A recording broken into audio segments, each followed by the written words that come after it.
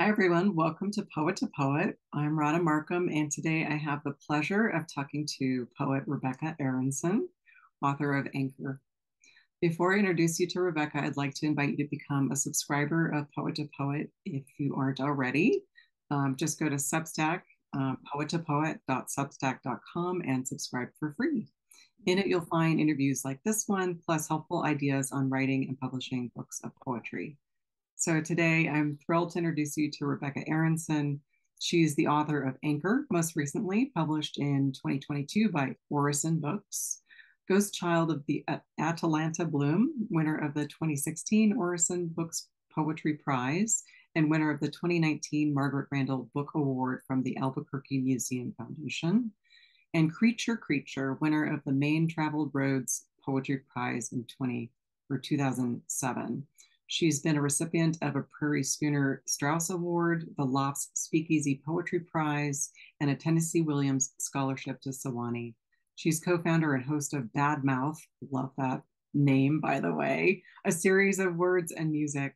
Um, and she teaches writing at CNM in Albuquerque, New Mexico. So, welcome to Poet to Poet. Thank you. Happy to be here. So, Rebecca Anchor is a gorgeous book, beautiful, and what I would consider a highly thematic book.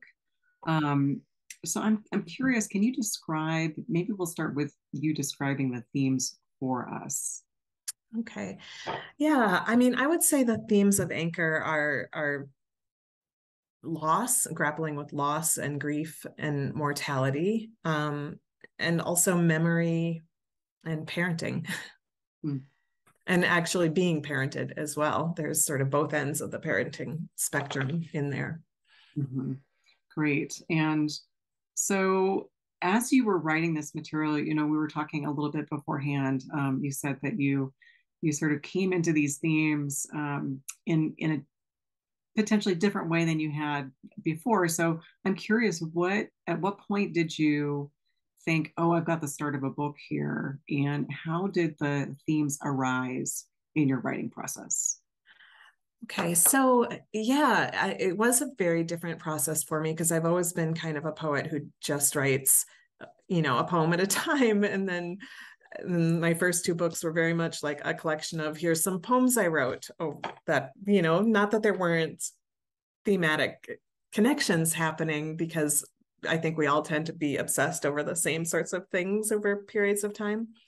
But um, but they they weren't quite coherent in the way that Anchor is. Um, Anchor arose when my my parents both were ailing. My father um, had Parkinson's. He was not yet diagnosed, and he um, he was falling a lot. And I was flying from Albuquerque to Minnesota to be with my parents. Um, and my mother had dementia at the same time, so that both these health issues happening.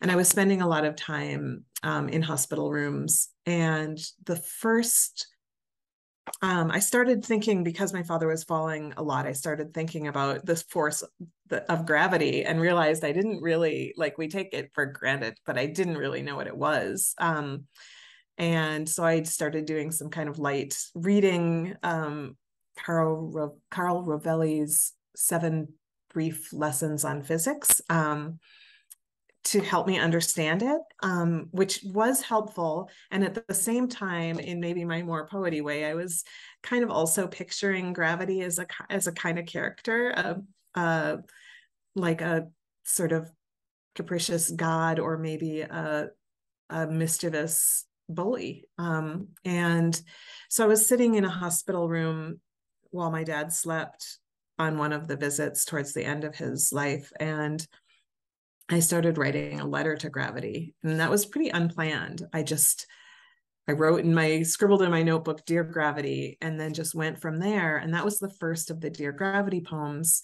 And then I kept doing that. Um, and I I wrote probably, I don't know, I wrote probably 15 of them or so, and uh, 10 of them ended up in one form or another in the book, and they form, I, I would say, kind of the spine of the book. And that um, that's kind of what helped me realize that once I realized that I had a bunch of these and that the other things I was writing all kind of spun from those letters, um, I began to realize that I might have a manuscript.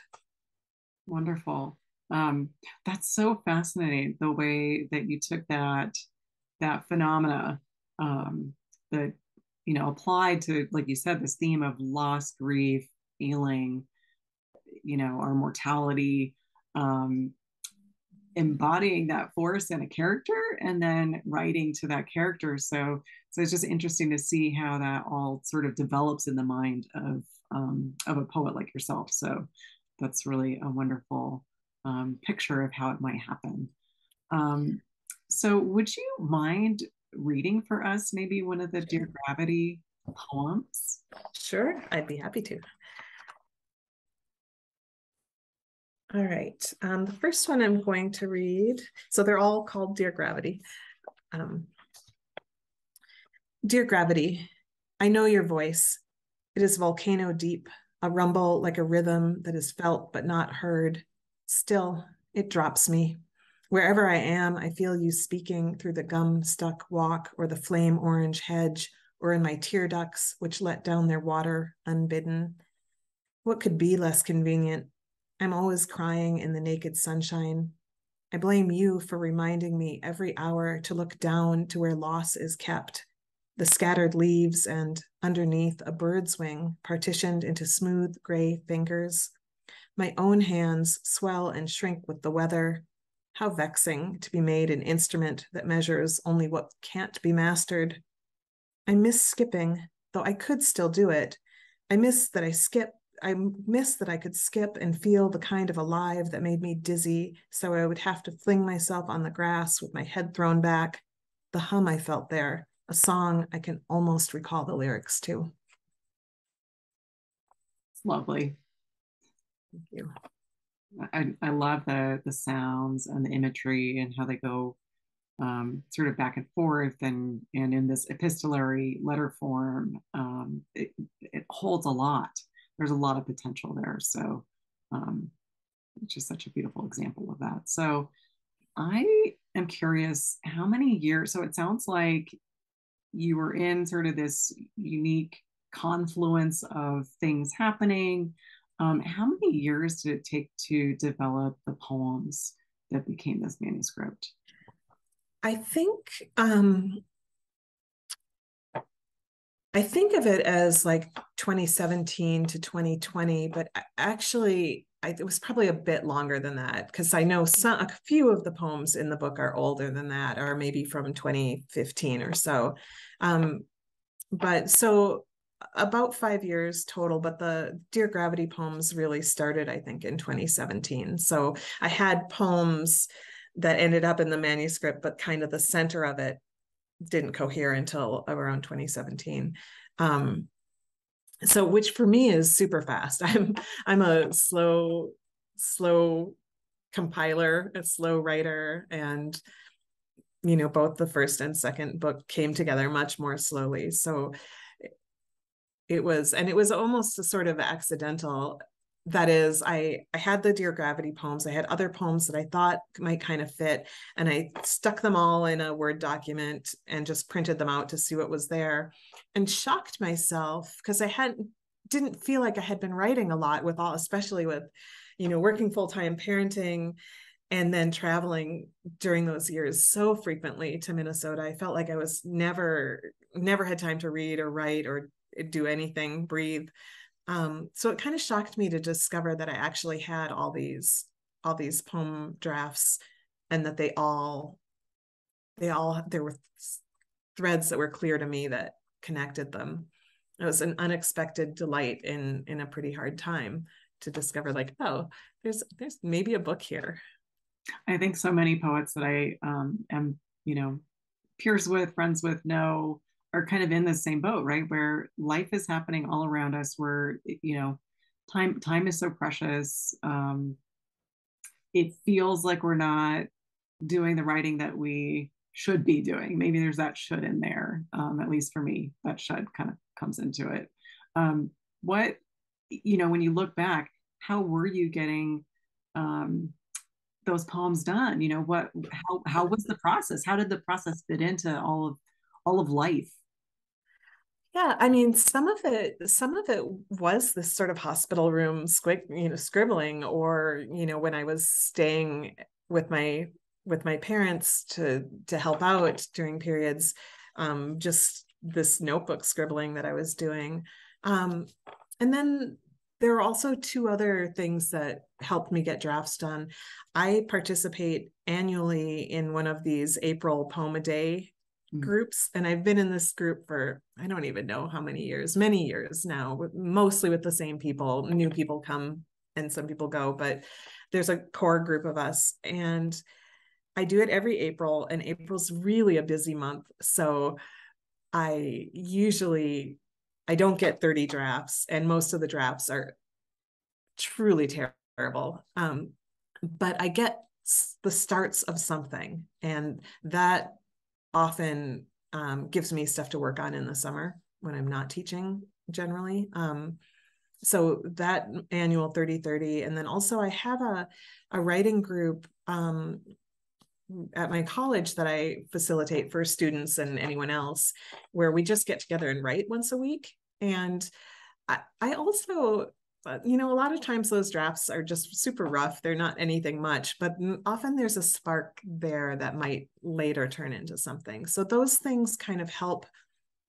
keep me at least kind of lightly tethered to writing during the busiest times of the school year and then during the breaks um, like I think like every teacher, I'm always like, okay, now I have to write everything. um, so during the breaks, I I try and I try and put it all together, or mostly mostly I'm revising at that point. Mm-hmm. That's so interesting. I think I've had a similar experience with um, producing sort of like the starts of what might be some poems I want to work on, you know, breaking that process up. Whereas I think earlier in my writing um, journey, I had more time. So I would maybe just spend you know take take something from start to finish and then start the next poem start to finish.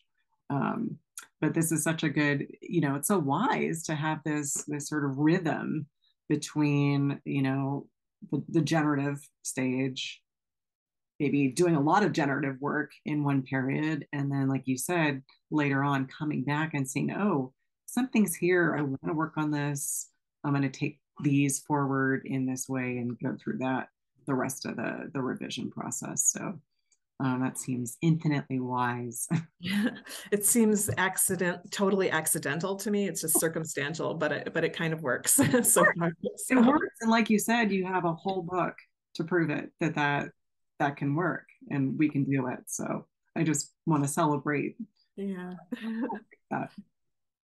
So I'm curious about so titles tend to be um, this part of the process that comes typically at the end. Um, a book title in particular, uh, Dear Gravity, on the other hand, those poems, it sounds like that title maybe sort of followed you through the process. But in terms of the book's title, how did you arrive at that? And did you have any working titles? Um, surprisingly, I don't think I did. I think that Anchor is the title that I came up with pretty much right when I realized that it was possibly a book, um, which is really unusual for me. For for both the previous books, they had they went through like fifteen or sixteen titles. I just couldn't. I, I you know I couldn't figure it out. But um, but with Anchor, um, there's an image in one of the Dear Gravity poems. Um, where I say that that um,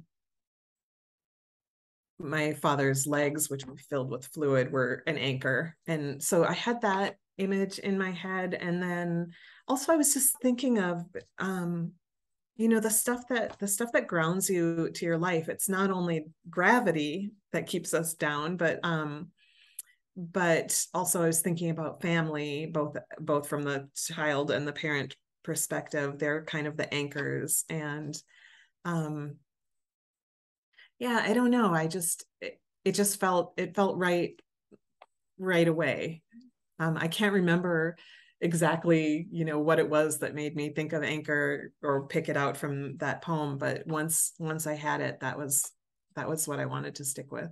Mm-hmm. Yeah, it makes a lot of sense. It's a nice, concise title, um, and it, it's this aspect of of um, it's a way of embodying, I guess I would say the the primary that that meditation on gravity, right? So gravity is the thing that makes the anchor work. Anchor is the thing that sort of embodies this this um, phenomena. So I think it's a great title, and um, congratulations on on it being so easy. um, so I also was really interested in um, in your approach to form. You know, so so kind of speaking about the the relationship between phenomena and something like an anchor as an image. Similarly, I think the poems um, embody, you know, different tonalities or different ways of approaching the subject matter. So I wonder if you might reflect a little bit for us on the way that you approached form. Mm-hmm.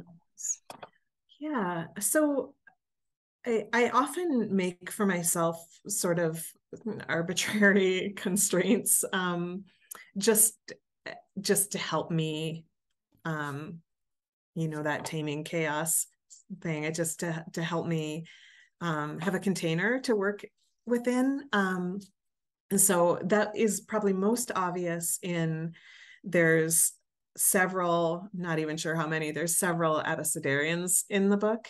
Um, and that's a form that i use when i'm stuck and i'm just trying to generate something. I, I think they're immensely fun. Um, so there are some of those actual you know following a form poems. Um, and then with some of the other poems i use things that you might not as a reader notice and maybe aren't even there anymore which is i, I often start with like a, a syllable you know syllable count per line to sort of get me going in a rhythm um, i'm not I don't write in meter except for sort of accidentally for the most part. Um, but I, but I, I do like having an idea of a syllable count to sort of help me um, help me fall into a rhythm. Um, though often that goes away when I'm revising. Um, and I also with the with the Dear Gravity poems in particular, I think I was uh, part of what I was led by was this uh, this epistolary voice. You know, this idea of what does a letter sound like, um, and so that that played a role for sure. Great. Um, Wonderful. So I wonder if you might read uh, Tourist for us. Yes. So, Tourist, I'll give you a brief little sort of backstory for Tourist. Um, in my parents' final years in 2017, actually, um, our our whole family, myself and my sister and brother, went with my parents for a final big trip to Italy. Italy was sort of the country of my father's heart, not you know none of us are italian but but it was a place that he loved and we all loved and we had been as a family when everyone was much younger my dad really wanted to go back one last time um, and couldn't they they could not have done it without considerable help and so um, my sister and brother and I all went, which was just a tremendous gift to all of us. Um, so, the, so there's a few poems um, in the in the book that are centered in in Italy. Um, so tourist. We stayed once above a plaza so filled with noise, sleep hovered in the room's corners like a nervy hummingbird. Halfway across stood a severe statue, memorial of a story I only ever half remembered. In new cities, I'm always partway lost, navigate by fountain and luck. I'm no magnet, my dreams, too, lead me only halfway to desire. I yearn or yell, and the dream slips around like a loose shell. Here is some of what I have held baby bird, unbroken but half dead, dying mice, the hot hands of half grown children, my own want, which beats counterpoint in the veins of my wrist. You live in your head, my friend who sculpts bodies for a living says. Half true. In those weeks, I only half slept, and so I was only ever partly conscious, moving through that unfamiliar landscape as a ghost might, wishing to touch every beautiful thing, but unable to recall what any of it was for. There's just so much tenderness in that. Um,